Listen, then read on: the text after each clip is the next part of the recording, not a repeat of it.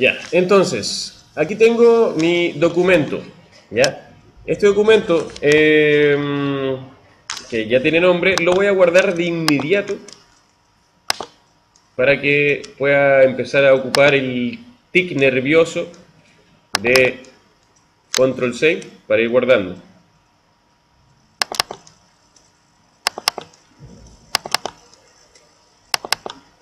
Y aquí tengo el proyecto de impresión.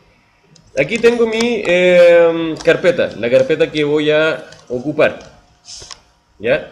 Esta carpeta, que tiene como, como nombre proyecto de impresión, eh, tiene una carpeta de imágenes y una carpeta de tipografía. ¿Ya?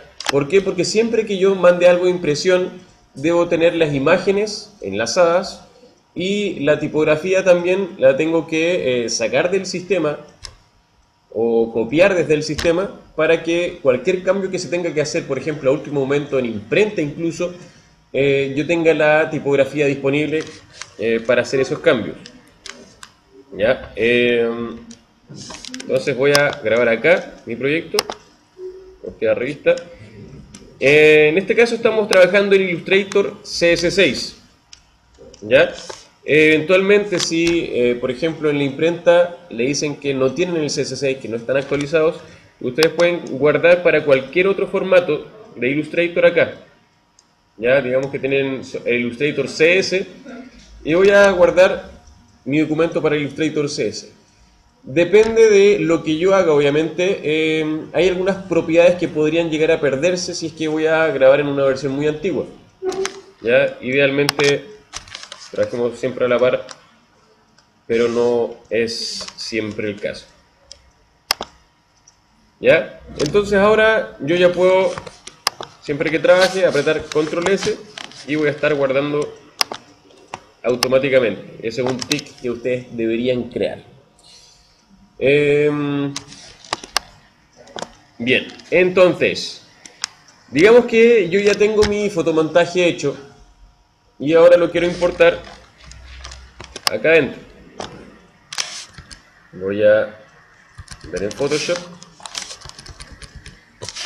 la imagen que tengo ya voy a usar esta imagen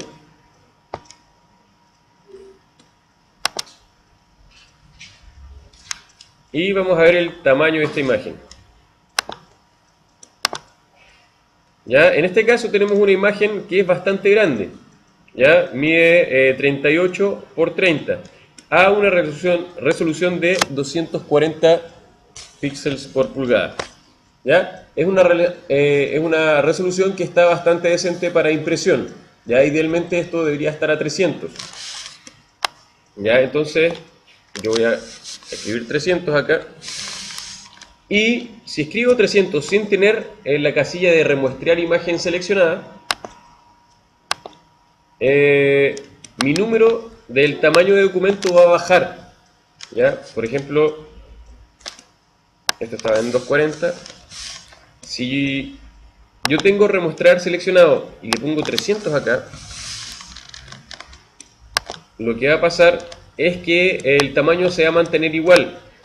Pero yo le estoy diciendo que va a tener mayor resolución, eso quiere decir que le estoy eh, añadiendo de cierta manera em, información.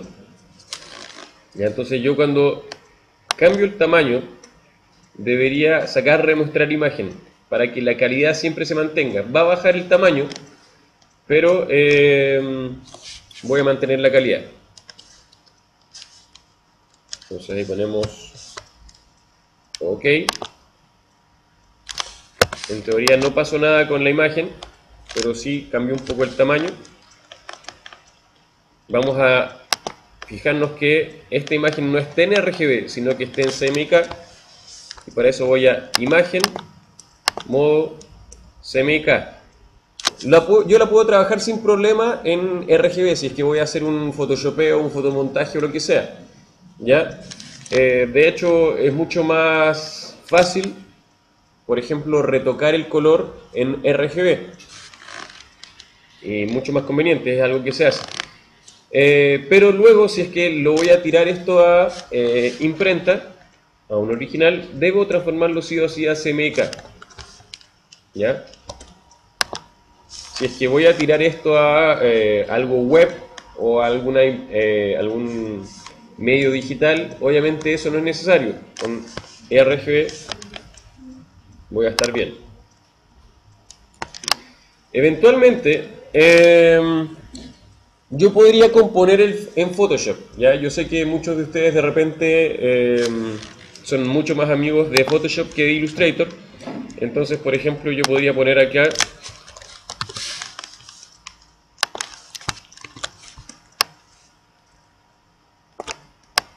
el texto que voy a ocupar. Ojo, siempre que voy a hacer eh, una, algún cualquier tipo de diagramación, ya tengo que fijarme en ¿en qué? En los márgenes. Ya siempre tengo que eh, trabajar con márgenes. Entonces, una manera de hacerlo acá es colocar guías. Voy a colocar margen de, por ejemplo, un centímetro de este lado. Para eso están las reglas. Si no aparecen las reglas, con control R aparecen de inmediato. Ya, entonces digamos que vamos a ocupar un centímetro y medio por lado.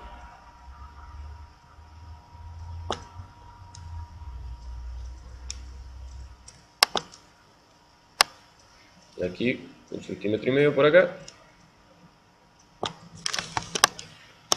Por este lado también centímetro y medio.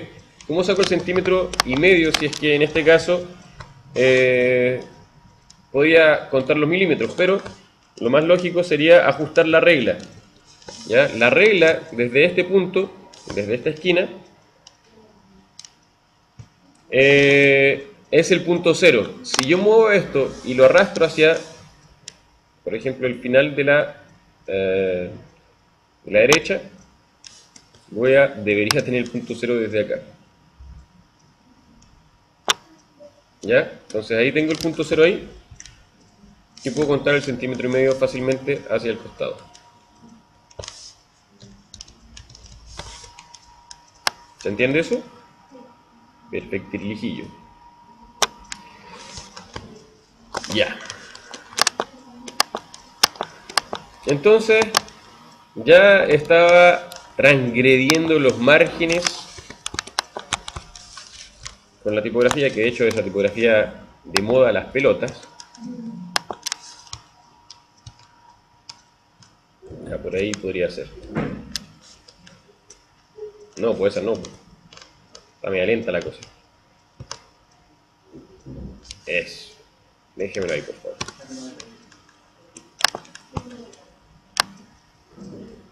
¿Ya? Eh, lo que estoy haciendo acá es solamente componer. ¿ya? Esto después yo lo voy a eliminar de... Eso. Eh, vamos a hacerlo con...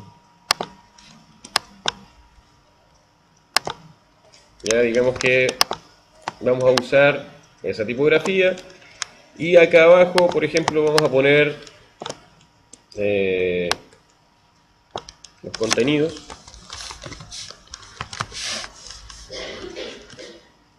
Voy a hacer una caja de texto. No me voy a concentrar mucho en esto porque la verdad es que no sé si me importa tanto. Em, lo que sí importa, obviamente, es que eh, ustedes pueden eh, componer acá en Photoshop, ¿ya? Pero todo lo que es texto acá en Photoshop no debería... Eh, no debería seguir en... Después cuando yo lleve esto a Illustrator.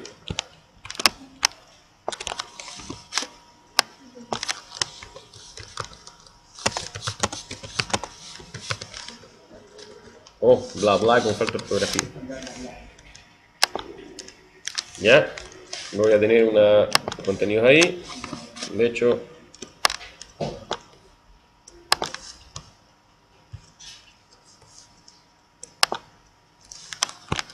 Y fíjense que estoy ocupando siempre eh, capas, bueno, capas voy a usar sí o sí si es que ocupo texto, pero estoy eh, guiándome por el margen, ¿ya? Margen también debería tener arriba, ya puedo elegir, en este caso, podría elegir cuánto ocupar, voy a poner acá y vamos a ponerle un centímetro ¿Ya? entonces ya nos estamos pasando voy a elegir el mismo centímetro abajo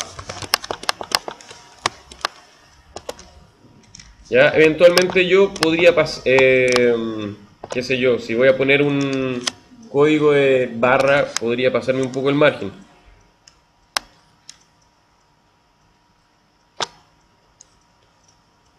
Y voy a poner otro centímetro.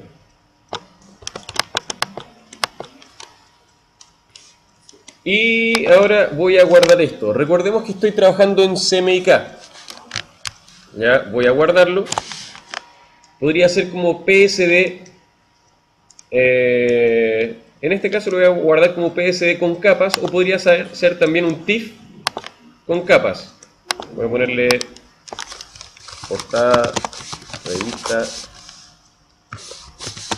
CMYK.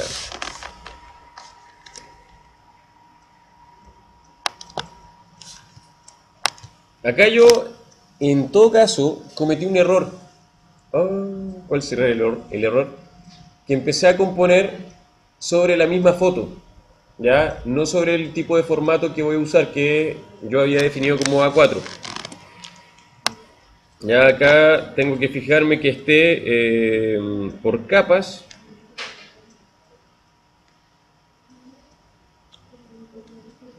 Y ahí tenemos capas. Si le pongo descartar capas, obviamente van a aparecer solamente las... Eh, todo pegado, digamos.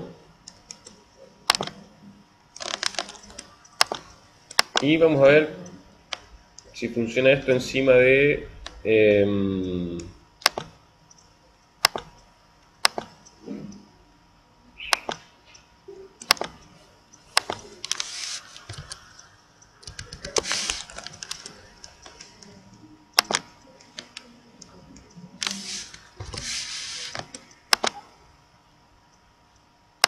directamente en ya tenemos a 4 vamos a trabajar en 300 y en semica ok y claramente el formato es otro. Ya, entonces lo que yo tengo que tendría que hacer es obviamente trabajar en base al al formato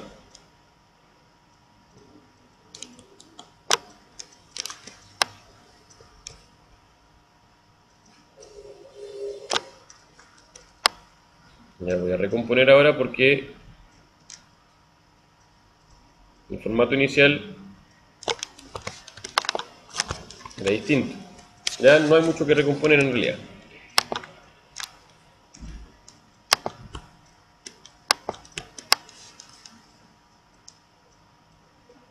Ya pues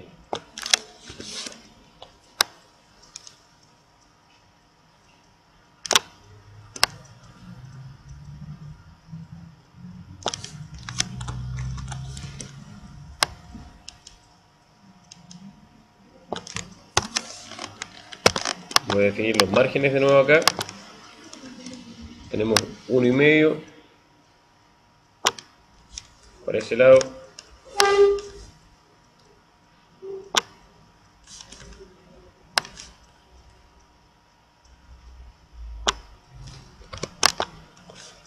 Y marcamos uno y medio nuevamente para este lado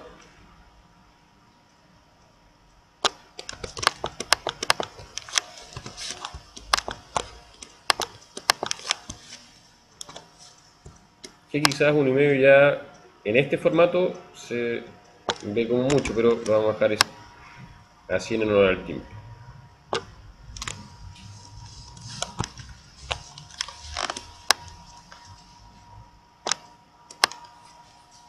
Aquí lo estoy haciendo al ojo nomás para no demorarme más.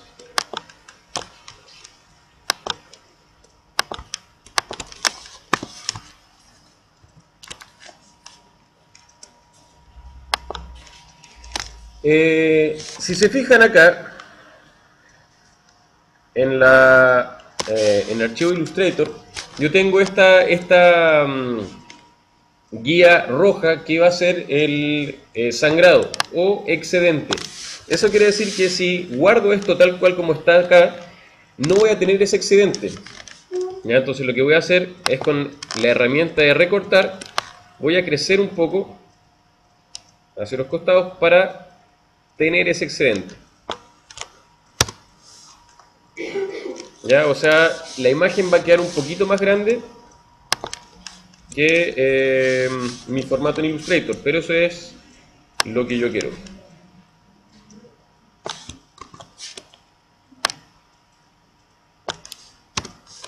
Voy a guardar esto de nuevo. Voy a aquí a 4.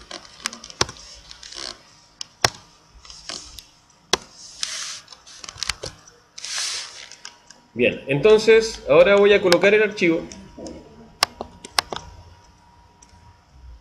la imagen que tengo como TIFF,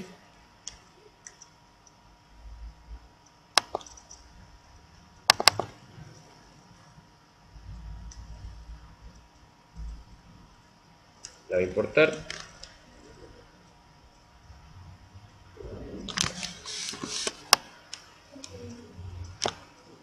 Y ahí si se fijan, la, portada está más grande que mi área de trabajo, que es el área blanca. ¿ya? Eso es justamente para que yo tenga este excedente, ¿ya? que es el sangrado.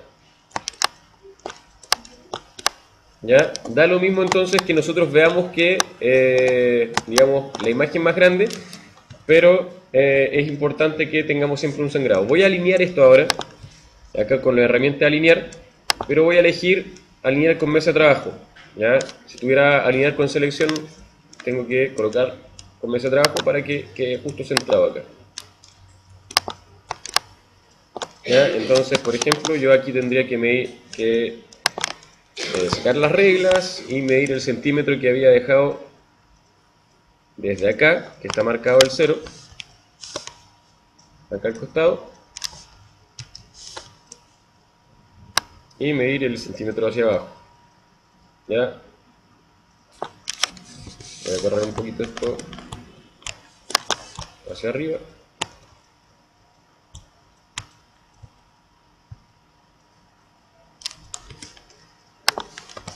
Ya, ya está listo.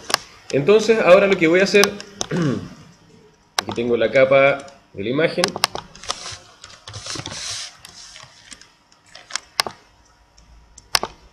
voy a hacer otra copa, otra copa. Sérvame otra copa. Otra capa para el texto.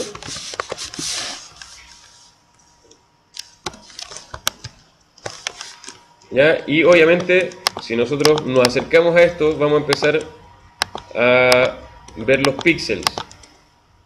¿Ya? En, en la tipografía. ¿Qué, ¿Qué dijo los piojos?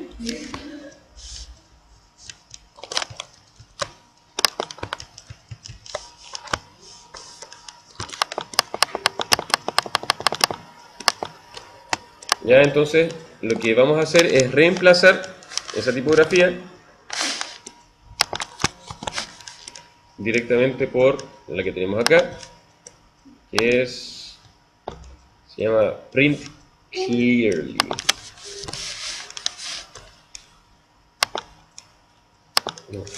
También con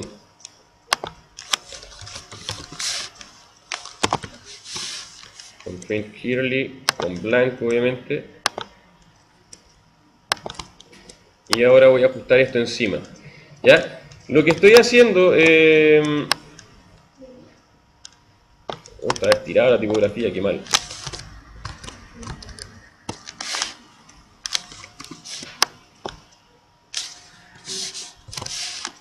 Lo que estoy haciendo ahora eh, es un paso que eh, si ustedes están acostumbrados a, si ya están acostumbrados a trabajar con Illustrator, se podrían saltar. ¿ya? Acá yo también eh, tendría que poner los márgenes Ya yo ya sé que ahí corresponde el centímetro y medio, porque viene desde la imagen de Photoshop.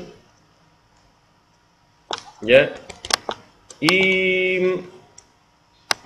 una vez que yo ya tenga los textos colocados, ya puedo ir a mi eh, imagen de Photoshop. Voy a borrar todos los textos y voy a guardar de nuevo.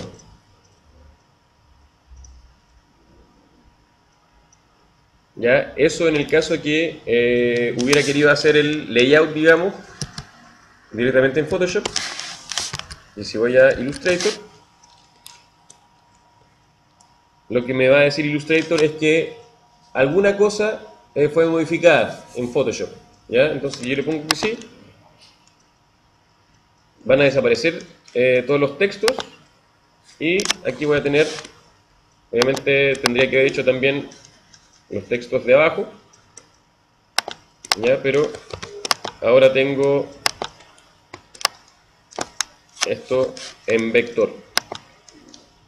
Otra cosa que tengo que hacer, eh, o debería hacer siempre que mando imprenta, es convertir las tipografías en trazo, ¿ya? O en contorno. Para eso, obviamente depende de lo que yo esté haciendo. Si tengo algo con mucho contenido, quizás eso esté sujeto a ciertas correcciones de último minuto. Entonces voy a hacer una copia de la capa de texto. A este, la capa de abajo le voy a poner texto editable y al de arriba le voy a poner texto eh, contorno. ¿Ya? De esa manera el texto editable lo voy a dejar con la tipografía y el texto en contorno lo voy a justamente convertir en contorno. ¿ya? De esa manera eh, yo no voy a necesitar la tipografía en el caso de que eh, quiera imprimirlo y siempre mi diseño se va a mantener igual. Imagino que a todos les ha pasado que de repente hacen algún diseño en la casa, vienen para acá y eh, la tipografía no está. Entonces lo que tengo que hacer es contornar la tipografía siempre y cuando yo sepa que ya eso no, es, no va a necesitar edición, ya no, va a, no voy a tener que cambiarlo. Entonces ahora lo que yo voy a hacer es ir a alguna carpeta de mi computador, ir a las fuentes, eso está dentro de C, Windows y Fonts. Ya se demora un, un poquito en cargar y acá voy a buscar eh, print clearly. No la voy a arrastrar hacia mi carpeta. Voy a dejarla en la carpeta de tipografía. Si la arrastro, es posible que la saque de la carpeta de fuentes y ya después no esté en mi sistema. Así que la voy a copiar. Copio y pego. ¿Ya? Ahí entonces, eventualmente, si tengo alguna algún problema, puedo recurrir a mi texto editado y como ya puedo instalar eh, instalé digamos la tipografía puedo cambiar lo que quiera ahora es muda sí, ese es el cambio que me pidió el cliente es un cambio estúpido pero no se asombre Ok, entonces tengo listo este archivo. Idealmente ahora el archivo de Photoshop lo guarde sin las capas. Lo voy a guardar de nuevo. Y voy a eliminar las capas. Ya recordemos que estamos trabajando en un TIFF. Podría ser un PSD también. Idealmente el archivo final esté sin capas.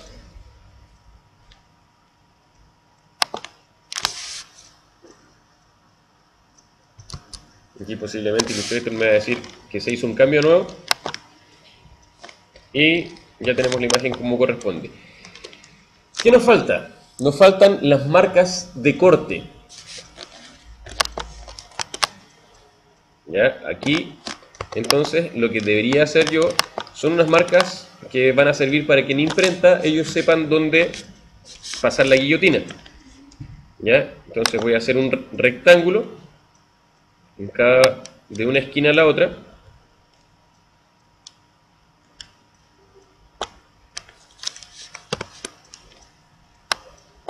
Y voy a fijarme que esté bien ubicado. Si aprieto control Y, voy a ver esto en malla o como contorno solamente. Aprieto control Y de nuevo. Voy a dar modo previsualizar.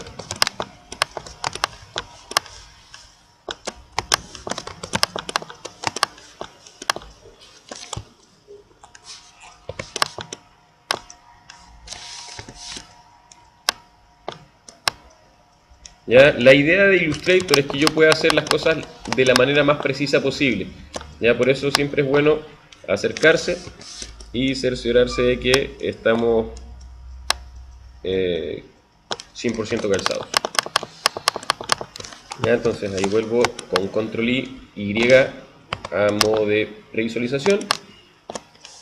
Voy a sacarle el relleno y va a quedar digamos un rectángulo invisible. Y ahora voy a objeto y eh, crear marcas de límite. Oh, oh.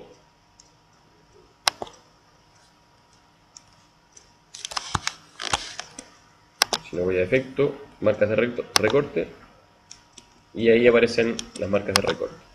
En el caso anterior no quiso funcionar porque lo tenía sin el um, sin color, ni el trazo, ni el eh, relleno pero es lo mismo, digamos, si vamos a efecto, marcas de recorte, con este rectángulo seleccionado.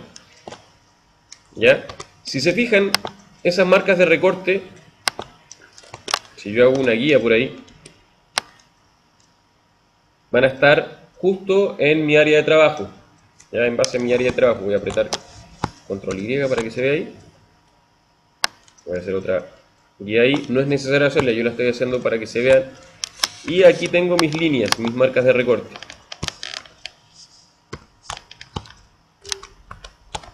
¿Ya? Eso va a cortar este pedazo de azul.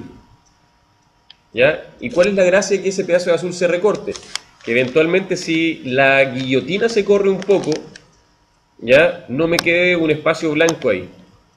¿Ya? Si se corre un poco hacia, hacia la derecha, por ejemplo, en la guillotina o hacia la izquierda, si yo no uso un em, sangrado, ya un excedente, me va a quedar después en el impreso una marca blanca que posiblemente muchos lo habrán, lo habrán visto en flyers o cosas así. Ya eso es porque no se dejó un excedente. Ya, de, esa, de, esa manera yo me voy a em, asegurar de que si se corre un poco la guillotina, obviamente si corre más, más que eso ya me tienen que volver la plata. ¿Ya? Em, no va a quedar un espacio en blanco, que vendría siendo el color del papel. ¿Ok? Con eso estaríamos prácticamente. Si es que nosotros aplicamos más de algún color, por ejemplo, si no estoy haciendo una portada de revista solamente con texto blanco, lo que debería hacer también es limpiar mis paletas de muestras. Ya mi paleta de muestras que tiene todos los colores estos inicialmente, pero yo voy a seleccionarlos todos. Y menos el blanco. Y los voy a borrar. Ya ahí me va a quedar la paleta solamente con los colores que usé. Por ejemplo no sé aquí abajo. Los contenidos los hice con algún otro color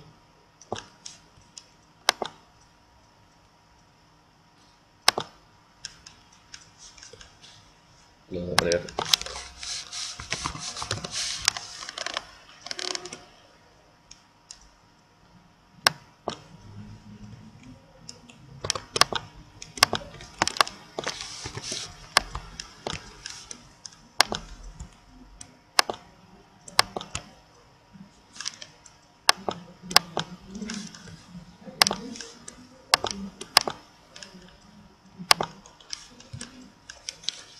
Y ese color también debería estar en mi paleta de muestras. ¿Ya? Entonces, en base a ese color, va a quedar también en, mi, en mis muestras. ¿Ya? Entonces, cualquier cosa que yo tenga que rehacer, voy a ponerlo según el margen, eh, ya sé cuáles son los colores que ocupé. ¿Ya? Entonces, claramente eso también lo voy a convertir en... Eh, están las capas? Capas... Este contenido lo voy a cortar y lo voy a poner en texto editable. Y voy a copiarlo también en texto de contorno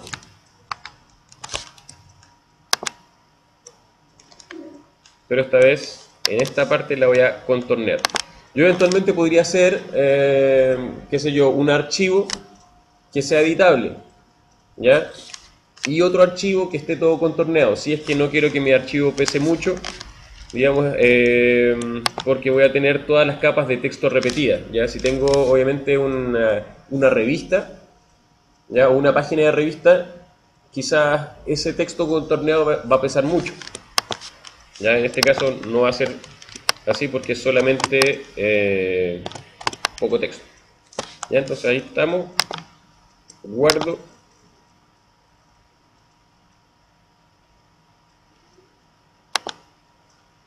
Y el programa no responde. Ahí está. Ok. Ahí está listo. Además, yo debería guardar esto como un PDF.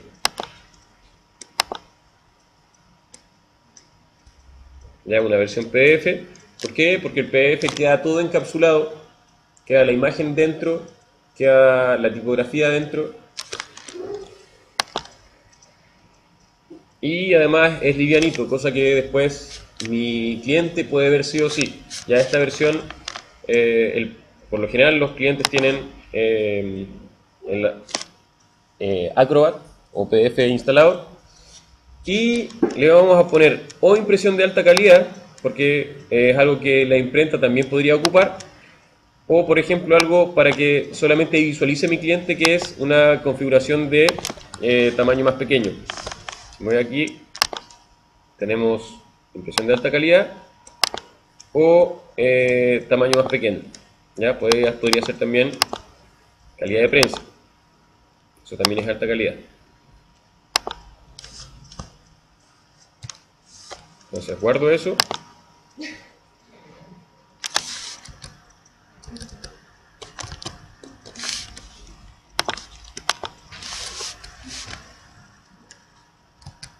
Y aquí en mi carpeta entonces ya tengo el PDF aquí para ser previsualizado.